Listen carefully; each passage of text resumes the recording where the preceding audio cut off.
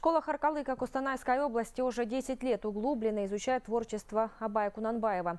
Среди учеников есть 50 призеров традиционного конкурса «Абаевские чтения». А по числу детей, которые наизусть знают более 100 стихотворений великого казахского поэта, Аркалык – признанный лидер в регионе. Артем Грапов расскажет подробнее.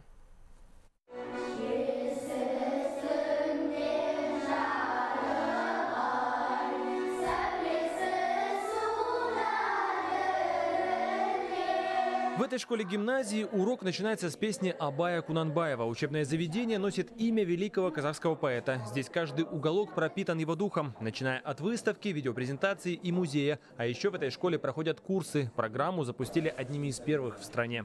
Абайтану курсы. Курсы познания Абая проводим по возрастным группам. В каждом классе по два часа. Там ребята глубоко изучают и познают наследие Абая Кунанбаева. А также каждую среду наши ученики читают наизусть стихотворения великого казахского казахского поэта.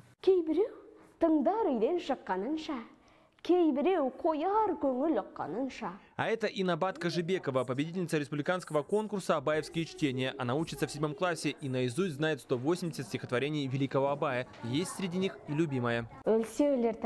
Мне нравится стихотворение, в котором говорится «Бессмертен тот, чьи слова будут помнить вечно». Это мне по духу близко. Я понимаю, что эти слова имеют глубокий смысл.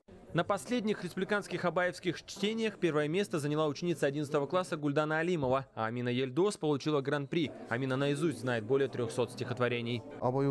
Чтение произведений Абая у нас проводят уже более 15 лет. И каждый следующий конкурс не похож на предыдущий.